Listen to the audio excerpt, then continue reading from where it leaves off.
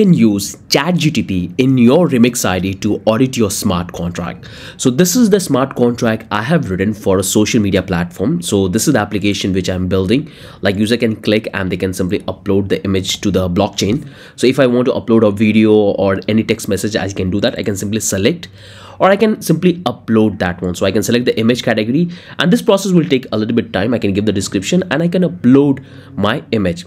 So this is the smart contract I have written for that. So this project is still in ongoing. Very soon I'm going to complete it and the video will come on that. But let's talk about that how you can audit that smart contract. So this is the pretty huge smart contract I have written.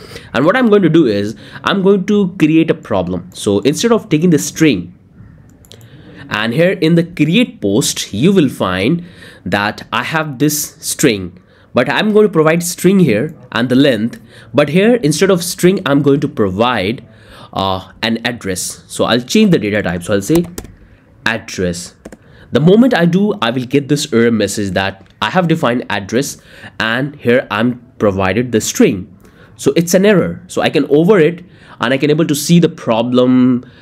Like right now this is the problem I have. So it's a string but I have provided the address. So this is the problem we have. In case you don't find that what is causing the issue you don't understand that how to fix this particular bug. All you have to do is to use the chat gtp which is inbuilt in the remix id to fix your smart contract audit your smart contract. Or even you can take the suggestion. So come back here in the compiler sections, we are getting this particular error. All you have to do is to simply scroll and here you will find the entire information about the error which you are facing in the contract. So it will say invalid type of argument in function calls, invalid implicate convertible from string memory to address. So this is the error I'm getting. And if you scroll further, here you will find an options called ask GTP so you can simply scroll and you will get the entire overview of your smart contract right up here. So if I click on this Ask GTP, it's going to make a call to the API and it will analyze the smart contract, including the error which I am having. So just wait. Soon this process will complete and you will get the entire overview, the error which you are facing and how to fix that.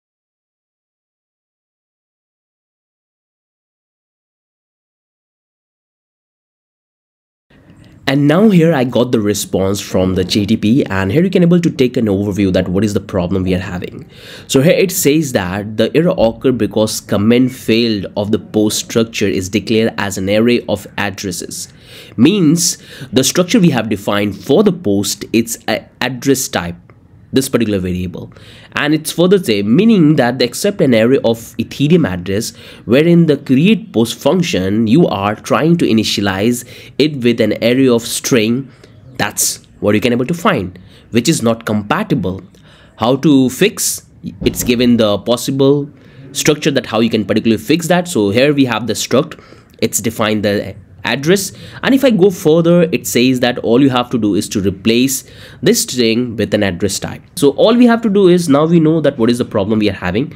So instead of declaring a structure struct here this is the post I can say a string. And I can save and now we have successfully compiled our contract. And that looks pretty fine. If I bring it down here it says and give the information further it's compatible. You can see? Now we got this particular address and how we have fixed this particular bug. So this one is really powerful and you have to use in your smart contract auditing. And if you want to get any confusion around any of the functionality which you have included in the smart contract, you can simply highlight the function and ask a question. So this will give you an amazing idea that how you can audit your smart contract. So I hope you guys will start using this particular one and use this to audit your smart contract so that's the only thing i want to cover in this video very soon a project will come so you guys can simply follow where we're going to provide all the features so in this project i'm going to add unique features which I'm going to talk about later. So this one is going to be the really powerful application which you can add. And you can simply build and launch. So you can start making money or you can simply start your own Web3 say the web3 chat social media platform. So this one is going to be a quite unique not the regular one which we have built. It's going to be a quite unique. So very soon a project will come on that.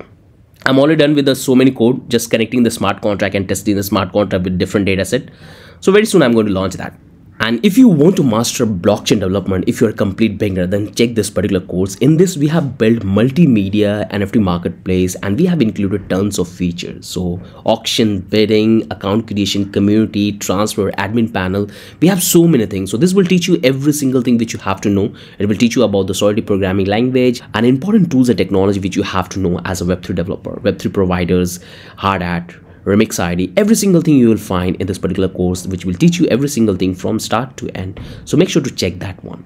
With that i'm ending this video. Have a wonderful day. Bye bye